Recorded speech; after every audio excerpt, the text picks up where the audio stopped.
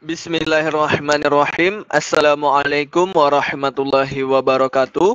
Perkenalkan nama saya M. Ropik Aldista, kelas Ilmu Al-Quran dan Tafsir semester 2. Oke, jadi di sini saya akan menjelaskan tentang TOEFL Preparation Listening Skill 1. Uh, eh, tips yang pertama itu fokus terhadap teks terakhir.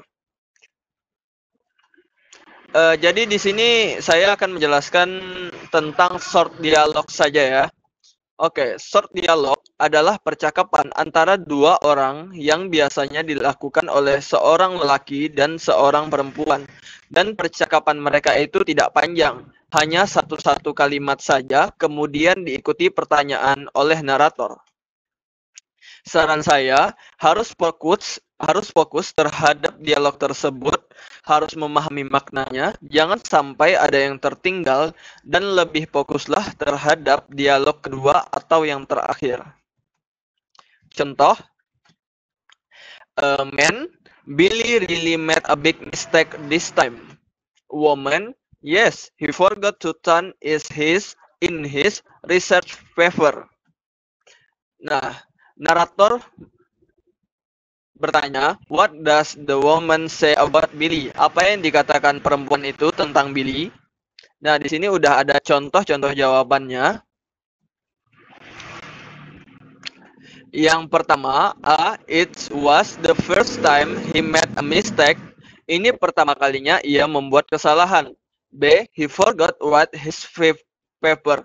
Dia lupa menulis makalahnya.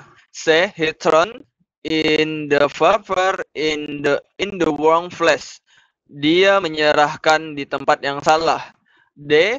He, he didn't remember to submit his assignment. Dia lupa atau tidak ingat menyerahkan tugasnya. Jadi jawaban A itu salah karena eh, di jawaban di sini ada kata mistake dan mistake itu terdapat pada teks pertama di teks man. Jadi kita itu harus fokus di di teks yang terakhir. Dan D adalah jawaban yang benar. Dia lupa atau tidak ingat menyerahkan tugasnya. Karena uh, lebih tepatnya di sini ada teksnya he didn't remember to submit his assignment. Didn't remember to submit itu mewakilkan forgot to turn. Dia lupa atau tidak ingat menyerahkan tugasnya. Mungkin itu saja yang bisa saya jelaskan. Semoga kalian paham atau jika ada kritikan atau saran yang bisa membantu saya uh, agar lebih bisa lagi menjelaskan dengan santuy.